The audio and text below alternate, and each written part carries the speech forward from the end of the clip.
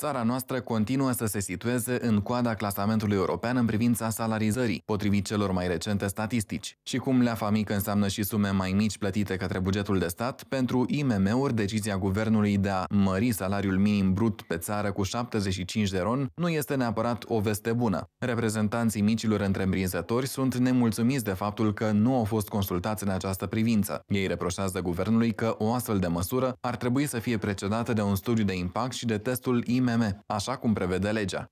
Premierul Victor Ponta le-a oferit și lămuriri și soluții. Întotdeauna trebuie să înțelegem că facem ceea ce trebuie pentru stimularea mediului de afaceri și am făcut, dar nu mai putem să fim ca în Africa, cu salarii uh, sub limita de subzistență. Parcurgem toate, uh, toate procedurile, însă un salariu minim de 1000 de lei, care înseamnă 200 și ceva de euro, este în continuare extrem de mic.